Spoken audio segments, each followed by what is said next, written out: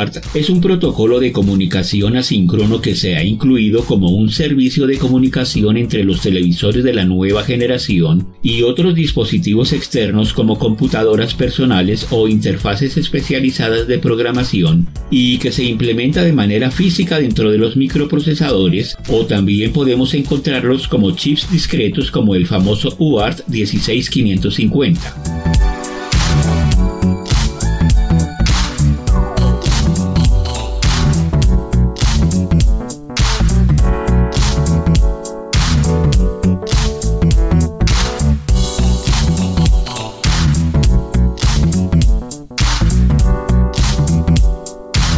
La palabra UART quiere decir recepción y transmisión universal asíncrona y en donde la palabra asíncrona quiere decir que no se requiere de una señal de reloj incluida dentro del alambrado de comunicación para sincronizar las señales de transmisión y recepción, como es el caso de las memorias EEPROM o SPI, sino que solamente son necesarias dos líneas, una línea de transmisión TX y otra línea de recepción RX, referenciadas ambas a tierra. Comúnmente podemos encontrar en los televisores el puerto UART configurado dentro del puerto VGA u otros puertos como los HDMI, USB o en un puerto de 3.5 milímetros denominado Service y en donde los terminales RX y TX son los anillos R y L del plug. La Tierra aquí brinda entonces la referencia de 0 voltios.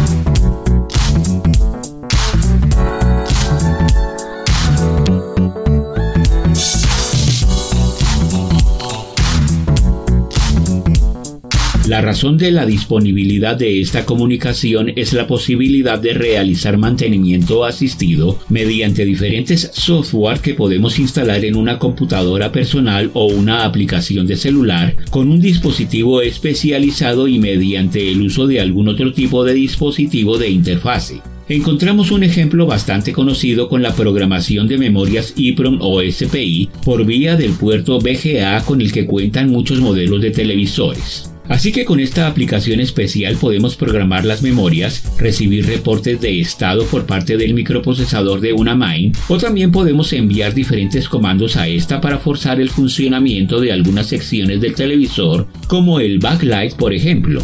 Esto quiere decir que en la UART la comunicación es bidireccional o full duplex dentro del formato de words de 8 bits que son transmitidos de manera serial, pero en los cuales también, una vez recibidos, el protocolo UART los convierte nuevamente en words de 8 bits.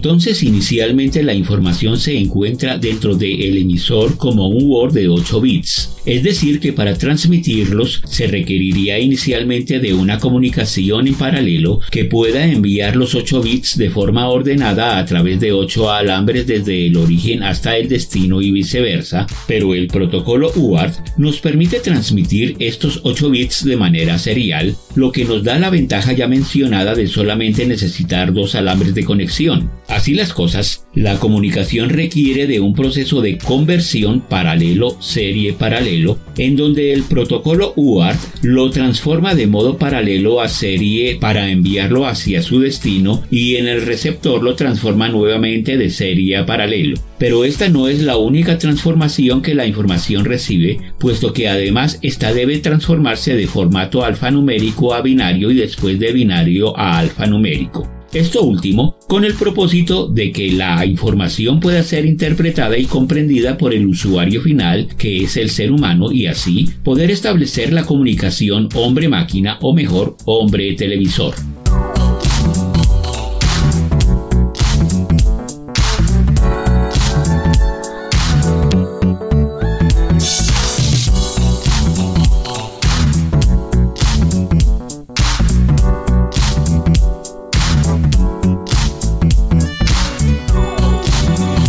Transformar un dato alfanumérico a binario utilizaremos otro formato denominado ASCII, en donde podemos encontrar toda una codificación de binario a alfanumérico de todos los caracteres que componen esta comunicación. Así, cada letra, cada número, cada espacio o carácter especial se corresponde a un Word específico de tipo binario. Por ejemplo, la A mayúscula está codificada con el decimal 65, que en binario corresponde a 01000001. Aquí, en la transmisión del dato se comienza por el bit menos significativo, es decir, por el bit que se encuentra en el último lugar hacia la derecha y de ahí comenzamos a transmitir de derecha a izquierda bit por bit. En este caso, pues deberemos transmitir primero el último 1, después 5 ceros en secuencia y después nuevamente un 1 y un 0 completando así los 8 bits.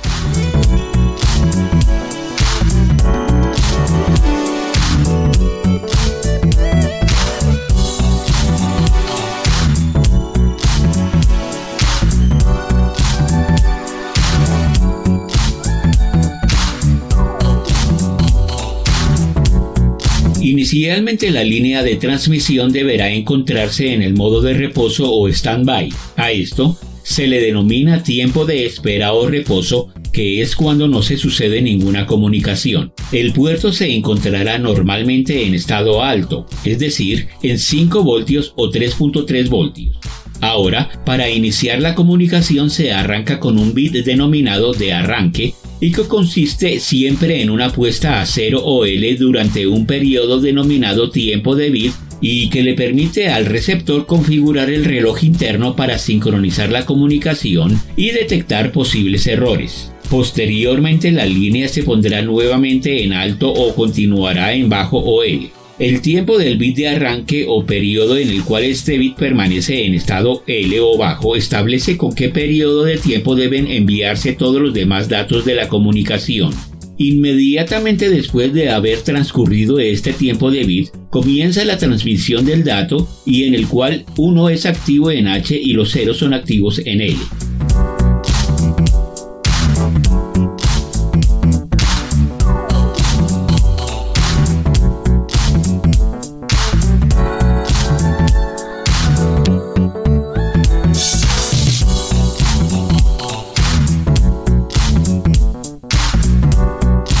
Así que para el ejemplo de la A mayúscula inicialmente hay que transmitir un 1 que es el bit que queda en el último lugar del word o dato. Así que la línea se pondrá en alto durante un tiempo de bit. Ahora continuamos con 5 ceros consecutivos, por lo cual la línea permanecerá en estado bajo o L durante 5 periodos o tiempos de bit.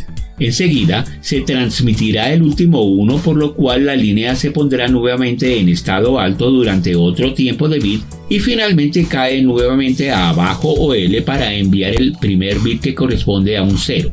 Para finalizar la comunicación es necesario que la línea esté en un estado contrario al bit de arranque, es decir, que debe colocarse en 5 voltios o 3.3 voltios y así indicarle al receptor que se han enviado 8 bits y que la comunicación se ha completado. Esto se repetirá sucesivamente hasta que se haya enviado toda la información requerida. Sucedido todo esto, la línea quedará nuevamente en nivel alto indefinidamente hasta que otro dato deba ser transmitido.